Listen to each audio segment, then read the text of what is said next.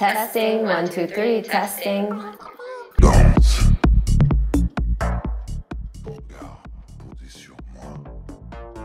Welcome to another episode of Creating Web3. I am your host, Tiffany Monahan, and I am joined here today by Simon Harmgardt, and he's the head of business development at PARSIQ and IQ Labs. Welcome, Simon. Thank you for being here. Thanks, Tiffany. Super excited uh, to be here and talk more about Web3 and, and dive into it. So, I would love to start, just have you jump right in, tell the listeners about yourself, about PARSIQ, IQ Labs, and really just get into some of the topics that we're going to discuss today. We love to talk to you about NFTs, have a bit of overview about how IQ Labs came into fruition and where you guys started versus where you are now. And also hear about PARSIQ, which you mentioned is a real time blockchain historical data platform. So, what do all of these things mean? And I'm going to hand it over to you. Perfect. Perfect. Awesome. Sounds great. So, uh, just background about the company, uh, PARSIQ and IQ Labs. We're about uh, 60, 60 plus people now. Uh, PARSIQ started in 2018, really from the need of developers in the blockchain space needed access to high quality blockchain data. So what PARSIQ is, is a platform where they can easily query both historical data but also subscribe to real-time data feeds to build their applications, whether that is to monitor events in the smart contract, whether that is to build dashboards on their front end connected to um, blockchain data, um, movement of NFTs, movement of tokens, stuff happening in their smart contracts, um, and really any data that they need. Um, right now, we started off in the, the real-time data space, and right now we just also launched one API for both real-time and historical blockchain data across uh, multiple data streams. Uh, we're also the, the co-founding team is also behind IQ Labs, and IQ Labs is an NFT renting protocol. Uh, we finished our $12 million seed round a few months ago, led by Crypto.com, uh, Republic Capital, and Sandeep from Polygon is one of our angel investors, uh, the co-founder of Polygon. And how IQ Labs actually started was very interesting because um, PARSIQ has its own token, and before the demand for PARSIQ services wasn't tied to our token. so really our token holders weren't getting as much value. So we started IQ Labs in order to create essentially a decentralized SaaS, software as a service subscription model, underlying with the token being the form of payment. And how that worked at a very high level, let's imagine Netflix had a token. Um, in order to get access for to Netflix, users could either hold a certain amount of Netflix tokens, let's say 10,000 tokens, um, and each token is $1 right now. That's $10,000 and what they would get is an NFT. And with that NFT, they would be able to watch Netflix for as long as they held that NFT, basically a lifetime subscription. Um, but the issue there, we, this was like very common in the blockchain space. And the issue there is that one, the user is exposed to the price fluctuation of that native token. So it's sort of like saying, in order to go watch Netflix, you have to purchase the company's stock, you're exposed to the price fluctuations what we noticed is that people who just wanted to access the service didn't want that. So that's still an option with uh, the token version of IQ, IQ protocol. But also, we created this uh, very interesting model where users could pay a monthly fee like they're used to um, to Netflix. And what actually happens then is that they're borrowing a certain amount of tokens from uh, the people in the staking contract uh, we can dive into that a little bit more, but they're borrowing wrapped versions of the tokens and then they can get, and they expire after a month and then they can access the platform. And the fees that they pay to rent those tokens from the token stakers go back to the stakers in the form of interest. So these token stakers can earn non-inflationary rewards um, on their stake tokens. Um, so yeah, that's a little bit about background, how the sort of the two companies overlap a little bit. And our main focus at IQ Labs actually now is an IQ protocol is NFT renting. Uh, and we're working with a lot of blockchain games to implement NFT renting inside their games. um, as well as applications. Um, so we can talk about all the use cases there as well. Yeah, I would love to dive into a lot of the things that you talked about. In particular, it would be great to get some more insights from you on IQ Labs and really, you know, understanding a little bit more on what does it actually mean to have the consumers or the users of these NFT be exposed to price fluctuation? And how is this renting model actually helping them to stabilize that a little bit? Mm-hmm. So, one of the reasons, again, we built IQ Labs and uh, IQ Protocol was to add utility to these NFTs. Um, first of all, like what an NFT is, and I know in past uh, past uh, podcasts we went over that, but a lot of people view NFTs as like the media has put them uh, one way of oh, there's this these JPEGs that are going for a crazy amount of money and there's no utility in them. So essentially, IQ Protocol is a renting platform, but also a utility platform as well. And I personally view uh, NFTs as just a new file format. You can think about them. Um, a file format like PDF was and still is today. You can really store any information you want in them. And I think where we're really going is that legal contracts will be um, NFTs. Maybe your house or car will be represented as an NFT um, in the future. Um, but for right now, they're more uh, gaming assets is really big. We're working with a lot of gaming companies um, and a lot of Web two traditional game uh, company publishers a lot of their talent is actually moving over to Web3, we, we see, um, just because NFT provides true ownership of these gaming assets. So I'll give you, I'll give you a couple use cases. Um, let's say there is an event, um, let's say it's in New York City, and we've probably all heard about CryptoPunks before and, and how much they went for and, and they're going for in ETH terms now. Um, and these crypto punks, let's say they got you access to an event or uh, an exclusive party. And um, some people, holders may be in Australia, some people might be in Southeast Asia, and they hold these NFTs, but they can't go to this event. They can't make it to New York or they don't want to make it to New York at that time what IQ Labs would actually allow uh, these individuals to do would be rent these assets out to someone else that is in New York going to that event so they can experience the utility of holding that NFT for that one night or for a week. Maybe it's a retreat. Um, and that's really what we're building that infrastructure to be able to add utility and be able to bring people into that community more so. Um, because right now with, with NFTs, it's the only option was like really buy and sell. If you wanted to pass ownership and sell it to someone else to experience that that um, that utility that the NFT brings, you have to sell it. But now you can actually earn passive income on your NFTs and actually um, remain the owner of it as well.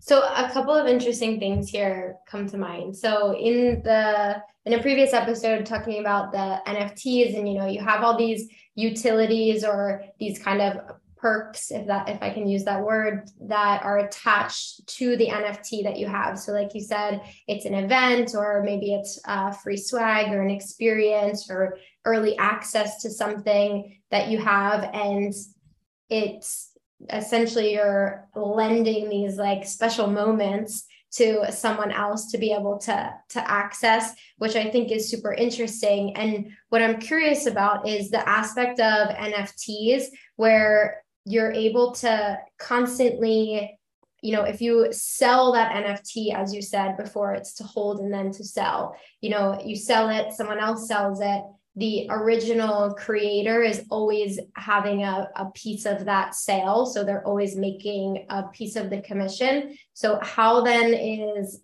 IQ Labs thinking about the infrastructure for that continuation of the original creator?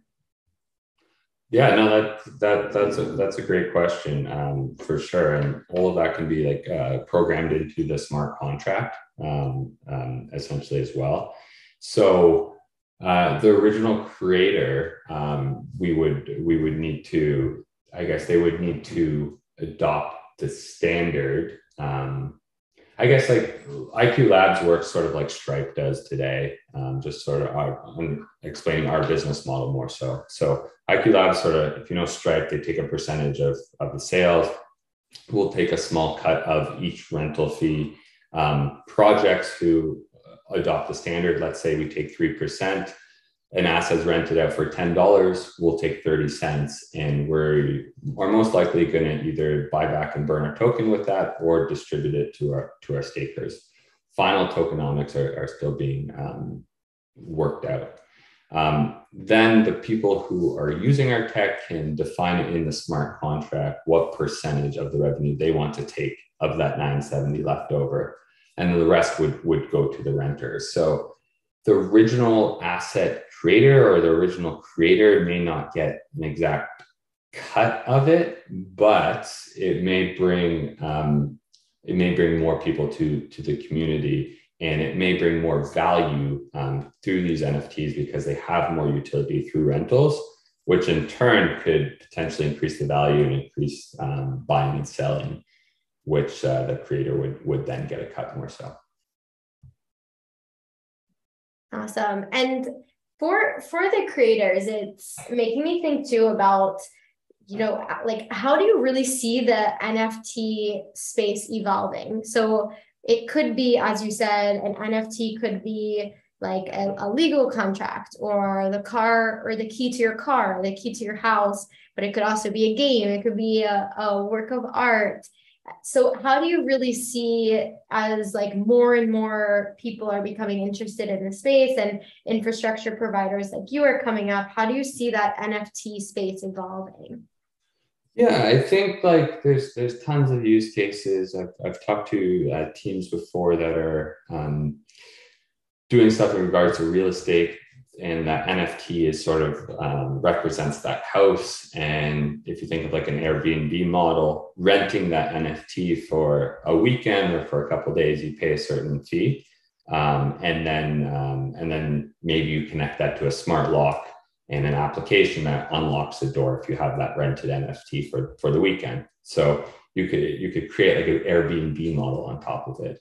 Um, also, I've talked to teams that are looking to build like uh, co-working spaces, and maybe you have a monthly pass that you are uh, that that you own, and it's an NFT, and uh, maybe you're traveling for the next week or on vacation for the next week.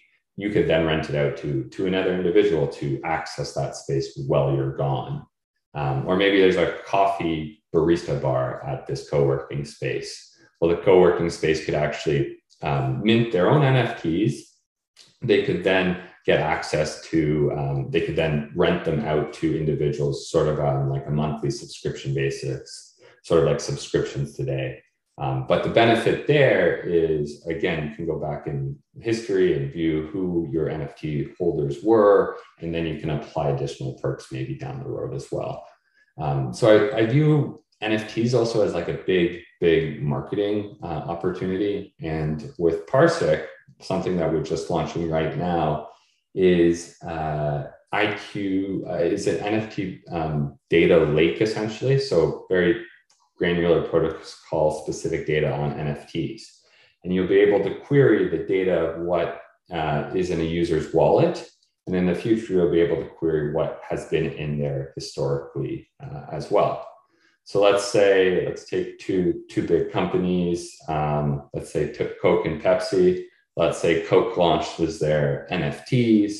Um, you could actually query that information that, hey, these are all the Coke NFT holders. And then as a brand, PepsiCo, for example, and Pepsi, you may want to actually find out all those, the holders of those Coke NFTs or who has held these Coke NFTs historically and then do like a, an interesting marketing drop. So just send those wallets, um, uh, NF Pepsi NFTs, um, which could be an advert, it could be a, a, JPEG, and you could add some utility beyond it. So if there's a lot of interesting marketing use cases you could do as well by looking at on-chain um, data um, about NFT holders, about token holders, about what a certain wallet has uh, has been doing and um, maybe predict what they're doing in the future as well.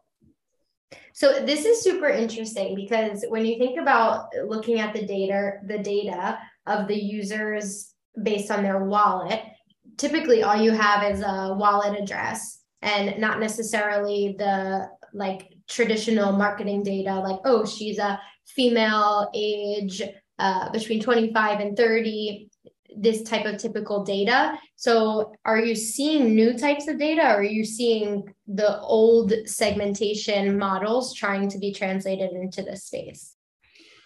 I think it's like it's a lot of the, the similar things based on like segmentation models um, that that people are, are trying to build. But it also, since you don't have that age, gender, it takes a lot of that um, maybe bias that some of these segmentation models or maybe marketers have indirectly put bias into their segmentation model. So I find that very interesting because it's just based off uh, what's actually happening on chain, what NFTs they hold. You don't know if CryptoPunk holders are old boys or girls or, or whatever, um, but you know that they hold a CryptoPunk and like that community, right? Same thing with that Pepsi and Coke example. If, if they launched their own NFTs, you don't know gender, you just know, hey, they like to be part of that community. They may also hold these other NFTs. Um, and those NFTs may also be from drink brands. So maybe you could say, hey, all of these, this individual just loves the beverage industry and they're they're a big drink consumer, right? So it, it a lot of the similar segmentation like things in the web 2 world that, that we see but again removing maybe some of that bias i would say uh, overall. I love that. I hope so. And so actually i want to go back a little bit because what you were talking about earlier with the nft renting model and the example you gave of airbnb for example i'm sure you get this question all the time but what is why would somebody use an NFT as a renting model versus just the traditional Airbnb app? Yeah, I think there's there's some I, I guess there's like um, maybe like a cost element, right? Maybe not as large a percentage would go to Airbnb. Um, but also on top of that, you see some interesting things popping up about like fractional ownership of NFTs. So, for example, let's say there's this penthouse in New York that's super expensive, right? And traditionally, in order to invest in it, yes, there's probably vehicles you can go through and everything, but that's harder.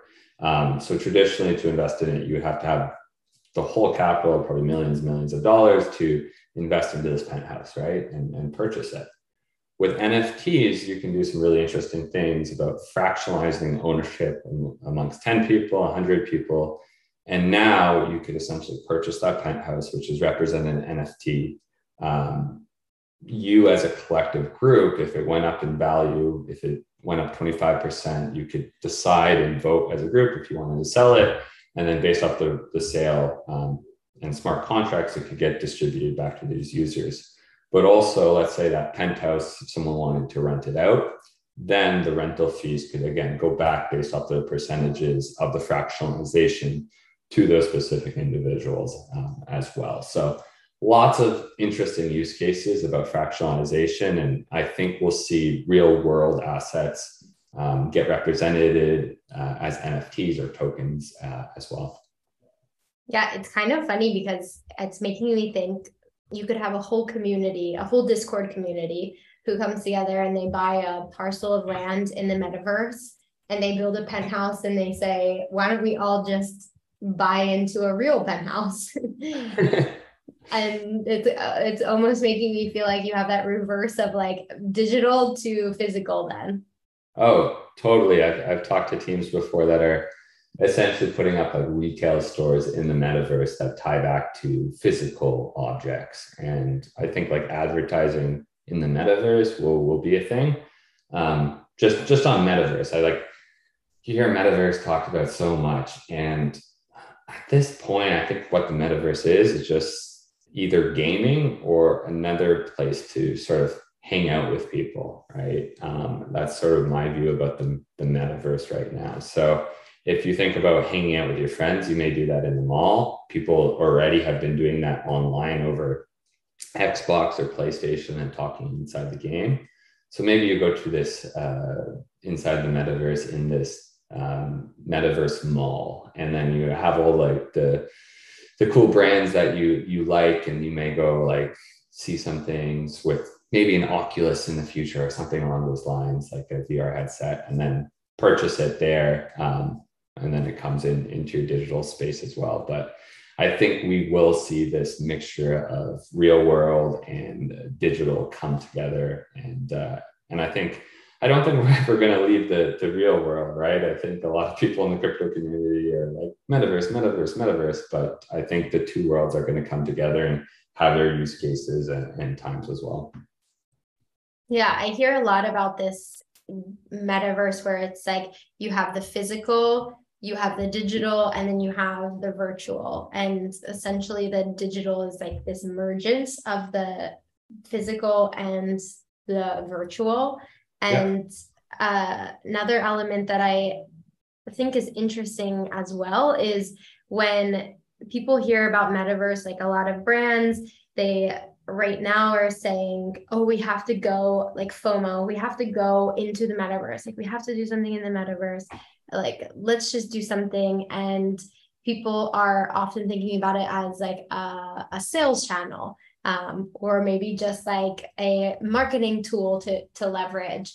And when i mean you as as iq and as parsiq are thinking about the metaverse like are you thinking about oh we should do some like we should go into there and buy a parcel of lab or buy a parcel of land? Or like how are you guys thinking that businesses should really be approaching this concept of the metaverse yeah you starting to see some some like traditional companies come into the nft space the metaverse space and i think it's really hard for them because they don't really fully understand the, the culture and the crypto community traditionally, like how it, how it operates.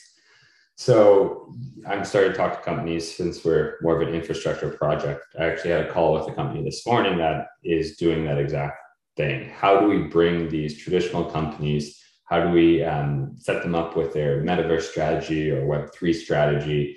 Um, and how do we help them along their journey so they understand the culture, they understand how to add utility to their NFTs. And when I'm talking to these types of companies, we're again, we're in infrastructure, so we will work with everyone. Um, but we we talk a lot about a lot of use cases about how do you add utility to these NFTs if you're a company coming in and you launch your NFT collection and uh, maybe it has this utility. Maybe then you want to maybe you launched 10,000 NFT collection, right? Well, before with this 10,000 NFT collection, really you only are attracting 10,000 people, right? Maybe you attract a little bit more once those people sell and another person buys for that utility. But with adding renting to that, um, tied to the utility, you can actually bring a lot more people together. Um, in addition to those 10,000 actual holders of it. So that's sort of how we're thinking about it. Um, we we are going to have our own marketplace as well, um, which is which is exciting. Um, but also at the end of the day, we're that core um, technology that any brand can use, any company, whether that's gaming or down to the individual creator, um, also. I would love to hear more about this marketplace. So I, I'm hearing a lot of Web3 companies like Ledger just launched a marketplace. Like, what does the marketplace look like for you? Yeah, so with our technology, like working with a lot of games, as you mentioned, every company sounds like they're going to have their own marketplace. And we've built our technology in a way where you can go, you can create your marketplace, and you can just add a rental button connected to um, connected to our technology in the back end. And not to get too technical, but when you use our technology, you actually are creating your own IQ Enterprise or IQ Verse, which is essentially your own smart contract that's trustless, it's, it's permissionless. Like we don't have control of that when you go do that. Um, yes, like I said earlier, the, the percentage of rental fees baked into that smart contract to use our technology. But anyone can go and do that and integrate our technology on their own marketplace. Um, we're going to have them, our marketplace as well because a lot of the teams we're working with either their team's smaller um, or they just don't have the time to build their own marketplace. So they can direct their community um, to our marketplace and use our marketplace. Um, or even for the individual creator who wants to launch their own NFT collection and add utility, they could post it on our marketplace as well. Um, just one more thing about that. There's some interesting use cases about like expanding the reach with our marketplace. Um, so in the future, we plan to do this dual listing thing. So if you have an asset, um, you track a bunch of users on your marketplace. When you list it for rent on your marketplace, let's say you're a game, could automatically also show up and be listed on our marketplace as well. And the advantage there for games working with us is that as we grow our audience um, and our marketplace and our technology, um, it would also just expand the reach to a different set of users and consumers and people that are maybe exploring our marketplace for a creator that they come to see that has some NFT on our marketplace. They may then also be interested in gaming and rent out that gaming asset. So that's sort of how we're thinking about uh, our marketplace and, and also not really competing against all these marketplaces, but again, building that core tech to enable the rental use cases across different marketplaces uh, as well. I love that. And I don't know if it's uh, too much of a rabbit hole to get into, but I would be curious of your thoughts too on the usability of some of the things that are listed on the marketplace and how they would work from going from one digital game, for example, to another digital game, or would you be pretty much confined within the constraints of where that NFT was actually created? Yeah, so that's that's really interesting. Um, we are working with games um, that want to, for example, we have three games that are actually working together right now, um, and they want to rent out their assets across the different games for different utilities. Um, we also are talking to games that want to do the same thing, but across different blockchains. And how we're sort of thinking about that is uh, the mechanics of how our technology actually works is we you never pass ownership of your NFT to another individual actually when you rent it out. Going back to that CryptoPunk example that we talked about earlier and going to that event in New York, if I was renting it out to you, Tiffany, how it would work is I would deposit that CryptoPunk into uh, a smart contract. I wish I had a CryptoPunk. I don't, but let's just imagine here. Uh, I would deposit that CryptoPunk into that smart contract. I would say, Tiffany, you can rent it, or whoever wants to rent it for $50. Someone would pay $50 to go to that event for that one evening. And what would appear in your wallet, Tiffany, is a wrapped expirable version, right? So you don't ever get ownership of the original. It stays in that smart contract. You get a wrapped version with the same look and feel, the same metadata. And then the, the team that is accepting that wrapped version or building the application to um, go to this event would just accept that wrapped version um, like it's the original for that rental period. So one night here could be a week for a different use case with our API and SDK. So you don't have to put, I don't have to, you don't have to put collateral to rent. It's just a fixed fee rental. And uh, I'm never passing ownership to uh, another individual. You just get that wrapped version. Um, so that's sort of the mechanics around that uh, as well.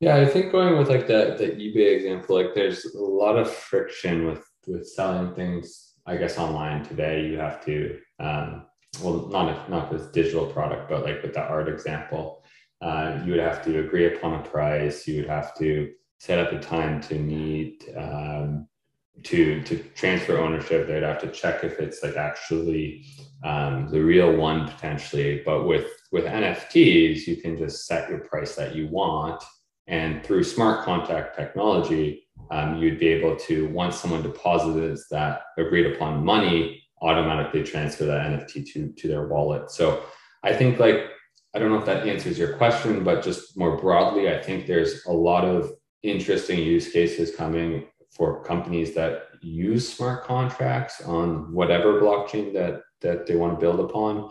Um, another really interesting use case would be insurance and like flight protection for delayed insurance, for example, right? How that would work is you purchase your your flight insurance, right? Um, and then you would have a smart contract that said, hey, if the flight's delayed more than two hours, you get your payout. Now, we're using something like an Oracle like Chainlink, you'd be able to connect to a real world system that would be able to look at all the flight delays. And then if that flight delayed is more than two hours, it would communicate with that smart contract and automatically do the payout. So just from a customer experience perspective, I think there's like a lot of value because I've gone through that before and filling out uh, ticket after ticket and following up with these companies just to get a little bit of money um, or what we agreed upon in the first place uh, is, is a headache sometimes. So I think there's a lot of opportunity to streamline processes, improve customer experiences, just leveraging smart contracts uh, and, and that technology as well. Completely agree.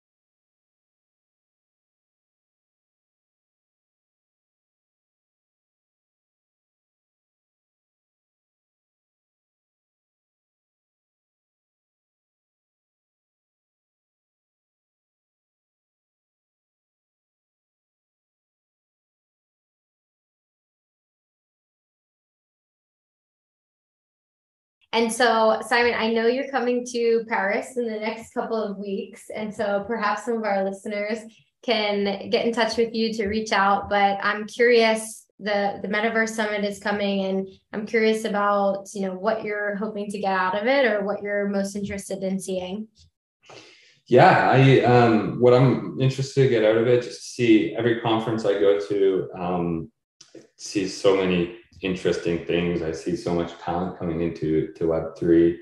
Um, you're just interested in building. I was um, at Consensus about a month ago in, in, in Austin, and then a couple weeks ago I was in NFT NYC. So um, just looking for developers out there who want to build NFT renting use cases or leverage blockchain data, uh, which is most uh, protocols or companies building on blockchain. Um, so if you need any of that, uh, please please reach out. Um, and then also what I'm personally excited about as an industry, I think we've built some amazing tech, but I think one thing that has been lacking overall and what I'm starting to see more focus on is really the UI UX. Um, if we're going to bring on the next billion users, we, we're going to need really seamless user experiences, the more of the traditional technology that we use every day someone doesn't like creating a wallet or sometimes like if you create your own wallet, you have like your seed phrase, you have to remember all your words, you have to store that properly. Um, and although maybe that would be more ideal, more secure, or maybe a hardware wallet would be more ideal or secure, I think as an industry, um, we hold on to those ideals a little bit. Whereas I think we need to accept maybe you can create a wallet with your Google logon, and there's some companies doing that. And then over time, maybe we educate these users on maybe what would be a little bit more secure. Um, and then also from the front end perspective, I think we need to build technology where you don't need to know and have a, a degree in, in crypto or blockchain technology to actually use some of these things and, and feel safe using some of these things. I think the, the best ideal state would be leveraging blockchain as more of the rails and build applications that some users would never even know that they're interacting with blockchain, but it just provides advantages of faster settlement or peer-to-peer uh, interactions or what NFTs would bring. So I'm excited to see more teams like up their game with UI UX and, and just overall the, the space move that way uh, a little bit more. Awesome. Well, Simon, thank you so much for joining Creating Web3. And I will put in the link to, or in the show notes of this episode, the link to IQ, the link to PARSIQ, and folks can reach out to you, try to find you at the Metaverse Summit. But thank you so much for joining. No problem. Thanks so much for having me. And uh, yeah, looking to chat more in the future.